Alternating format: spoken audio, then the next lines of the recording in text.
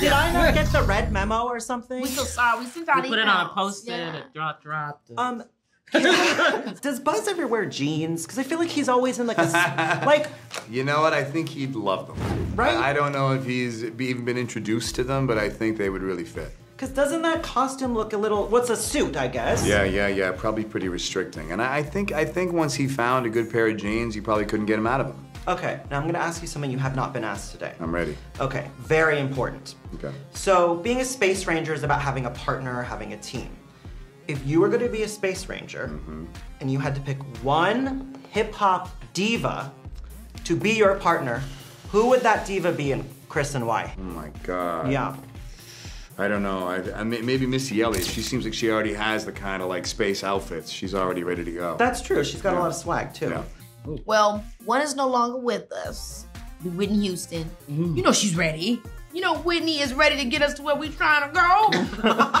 and then the other person would be, and I'm not trying to sound cliche because people always want to use this lady, but it's because she is a Virgo and she gets it done. Beyonce. I mean, Okay. Beyonce ain't gonna stop. Yeah. You know what I mean? Because one thing about a Virgo, we try to be good at everything. So Yeah. just as good as she is at performing, she would be a great space ranger. So I'm ready for me and her to roll. okay. Yes. Okay. What about Yes. you? I'm gonna also share some love with Mary J. Blige. Oh. Mm, You know Mary going hard. Yes. I think Mary's gonna get us there. Like I think she's gonna get us there. That phrase I need forever. I think Mary's gonna get us there. Literally live for that. now I selfishly have my own pick because one of my co-hosts on my show is the Brat. Oh, Oh And- yeah. I mean, there's no messing with brats. So, that's my Chicago Yeah. girl. Yes, the brat. so Yeah. there you go. Bring us to Lisa Ray. Okay, of course. Well, Brat and Lisa, you're coming on the spaceship with us. Yeah. We go to the moon. What creature comforts do you need? I'd really want uh, some music. I'd want my headphones and, and some tunes because it's going to be an emotional experience, and I wouldn't mind having a soundtrack. Okay, well, what's on the soundtrack? Good question. I mean, that depends. You know, morning to night, different vibes. You know, when you wake up in the morning, you want something kind of feel good, something to jump out of bed, maybe tap your toe. But at night, I wouldn't mind something a little more reflective, especially if you're in space. Maybe some like Pink Floyd in space. Okay. I mean, now I feel like I need to bring a gummy to space. and then turn on the Pink Floyd. What do you need in space? Like, what are the creature comforts that we're gonna need on this trip? a comfortable creature. We need to get a creature who's like a bed. Because like I like I like to be when I go to sleep. I like super comfortable and I like to be cuddled. Okay. So, So are we that's what I sp- would are we like. spooning? Is this a spoon situation? Forking. Fork. what does forking mean, Taika? I'll fork you if you fork me. But kind of set up the film for me because a lot of people are confused. They're like, is it an origin story? Is it? And, and you're the man that can explain that. Well, we'll see.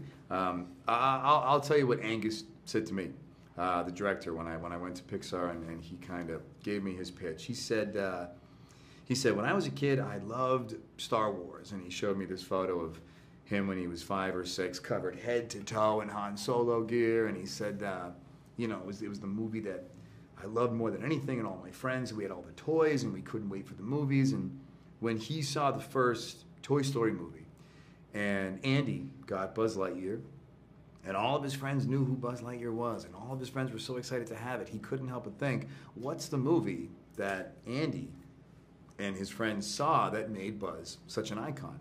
So this is that movie. Are you up to your knees now in swag? Like, do you have about 10 million Buzz dolls? Do you have got all that stuff? No, not yet. I got to get some though. What do you want from? Like, what have they made? Have you seen any products or something? Socks.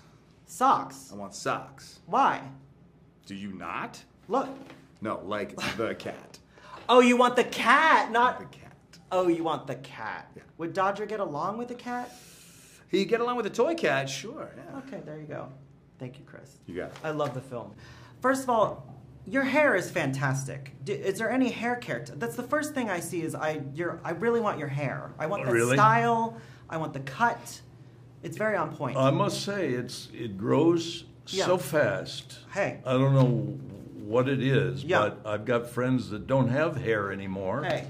And uh, and I'm just uh, my dad was the same. My brother's got all his hair. Can we talk about So- Josh Brolin? That Josh- kid's got a head of Josh hair. has hair. He's got Yeah. hair. So I was sitting out there and I was thinking, you know, Josh, who is also one of my favorite people, your son is one of my favorite people to interview because he is always very fun. Yeah. He is a great time, that guy. He, he is. Um, he is now he prolific. he plays a bad guy in a Disney film. You're now a bad guy in a Disney film. Right. Is there someone at Disney that's like, we have this bad guy, we got to call a Brolin. Is is there a Brolin available?